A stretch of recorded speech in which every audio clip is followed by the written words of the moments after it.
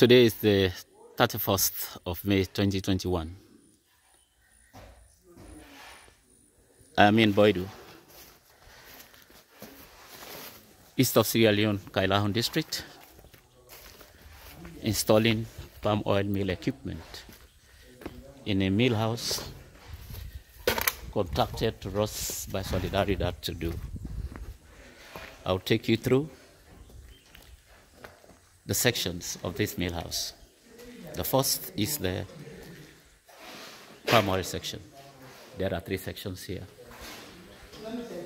One is the palm oil section, and the other is the palm kernel oil section.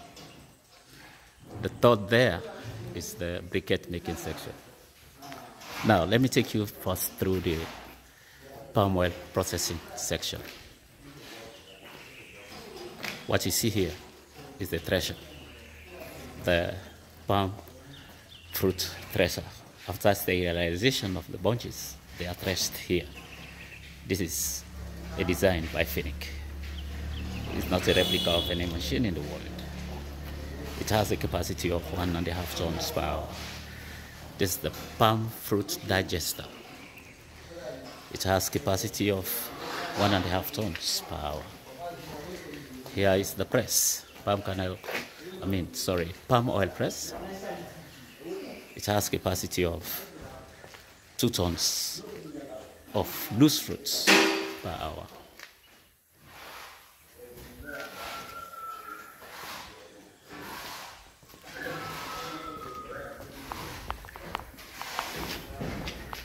Again, this is not a replica. It's a design done by FINIC. It's not a replica of any machine in the world. It's our invention. Here are the sterilizers.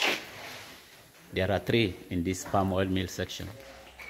Each has a capacity, batch capacity of two tons of FFB, fresh fruit bunches. Two tons, and it will take each batch of two tons, two hours to sterilize. There are the clarifiers. We call them batch clarifiers. Halfway through the operation, the taps there you see are opened and the oil will flow to this trough. From this trough, the oil is pumped to the tank where the young man there is coming from. This is the palm oil section. The next is the palm kernel oil section.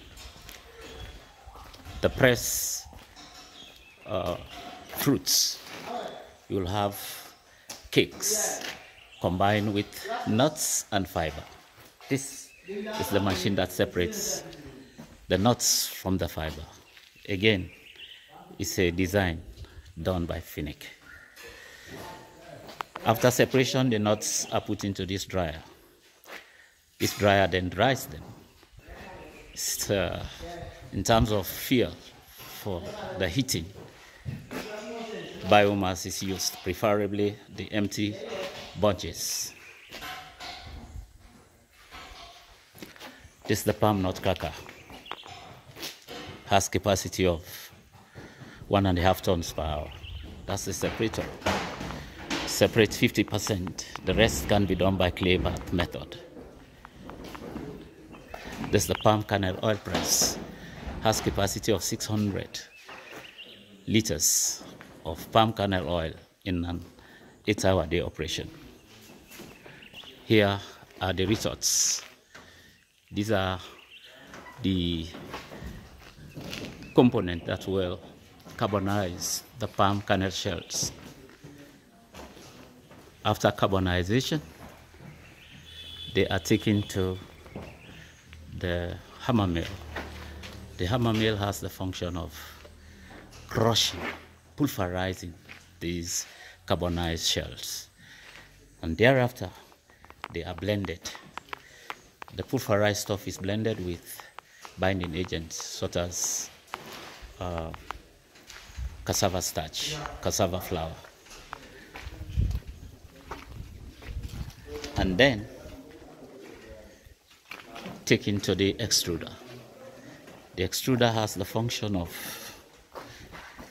shaping this pulverized blended stuff into hexagonal shapes from here. And then they are taken to the dryer for drying and then packaged. This is it.